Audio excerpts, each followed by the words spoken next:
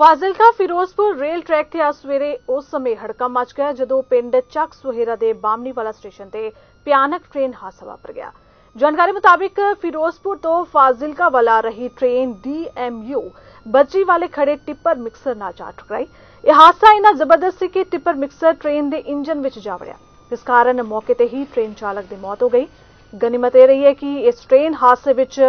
ਸਵਾਰੀਆਂ ਦੀ ਜਾਨ ਵਾਰ ਵਾਰ ਬਚ ਗਈ ਹੈ। ਬਾਮਣੀ ਵਾਲਾ ਸਟੇਸ਼ਨ ਇੱਕ ਮਾਨਵ ਰਹਿਤ ਫਾਟਕ ਹੈ ਹਾਦਸੇ ਦੇ ਲਈ ਟਿੱਪਰ ਮਿਕਸਰ ਚਾਲਕ ਨੂੰ ਜ਼ਿੰਮੇਵਾਰ ਦੱਸਿਆ ਜਾ ਰਿਹਾ ਹੈ ਟ੍ਰੇਨ ਡਰਾਈਵਰ ਦੀ ਪਛਾਣ ਵਿਕਾਸ ਕੇਪੀ ਦੇ ਰੂਪ ਵਿੱਚ ਹੋਈ ਹੈ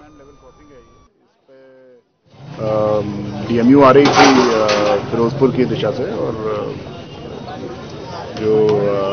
कंक्रीट का डंपर है इसने हमारा एक गेट मित्रा होता है जो कि अनमैंड लेवल क्रॉसिंग पे रहता है जो रस्सी बंद करके रो- रोकता है आने वाले ट्रैफिक को